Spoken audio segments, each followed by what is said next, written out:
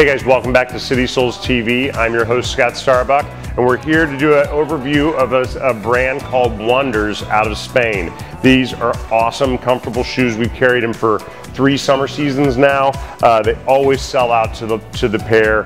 Really cool, hip, little Spanish uh, shoes, real bright, fun colors, rubber bottoms, um, always real cushion line. They've got arch support in them, ergonomically correct toe things. Um, but this is a really great line for us. Very fun uh, in some muted tones and uh, in the brighter colors that are uh, uh, draw a little more attention to your toes. It's a beautiful day to get a pedicure and a new pair of sandals. Come check them out at City Soles and CitySoles.com. Thanks.